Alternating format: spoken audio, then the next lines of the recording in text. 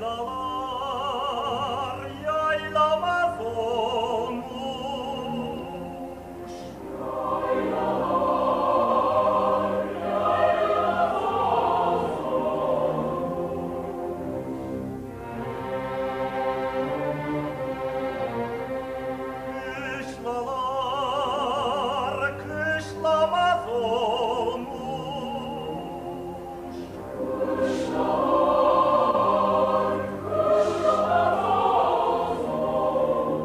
Erol Uras'ın vefatıyla Türkiye'nin müzik yaşamı gerçek bir beyefendiyi ve çok büyük bir sanatçıyı kaybetti. Çok üzgünüz gerçekten.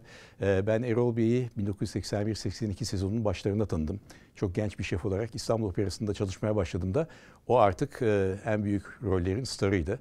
Ve 10 yıllar boyunca gerçekten özellikle dramatik tenor e, partilerini büyük bir başarıyla ve bazen tek başına e, üstlendi. Ee, İstanbul Operası'nın ve Türkiye'nin opera yaşamının gerçekten bel kemiklerinden biriydi kesinlikle. Ee, İlk kendisiyle sahneyi paylaşmamız, sahneyi paylaşmamız biraz tuhaf oldu çünkü kendisi sahnedeydi, ben orkestra çukurundaydım. Ee, 1982-83 sezonunda Puccini'nin La Bohème Operası'nda baş tenor rolü Rodolfo'yu söylüyordu. Muhteşem bir sanatçıydı. Aynı zamanda da aslında e, ciddi bir yaş farkımız olmasına rağmen e, çok cömert ve çok iyi bir iş arkadaşıydı.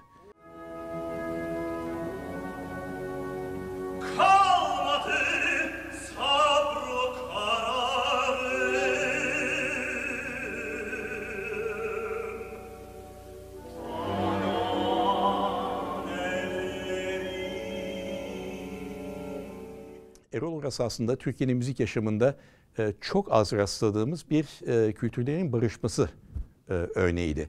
Çünkü çok iyi bir tenordu, opera tenoruydu, batılı, evrensel anlamda. Ama aynı zamanda da e, Münir Nurettin Selçuk'un öğrencisi bile olmuş ve Türk sanat müziğini çok çok iyi bilen bir sanatçıydı ve müzik yaşamımızın halen bu kadar e, işte Alaturkacı, Alafrangacı falan diye kamplaşmış olduğu bir dünyada Erol Bey'in bu iki dünyayı da bu kadar özümsemesi ve kucaklaması gerçekten müzik yaşamımızın ne olabileceği konusunda müthiş bir barış örneğiydi. Müthiş bir birliktelik örneğiydi. E, kendisini çok özleyeceğiz.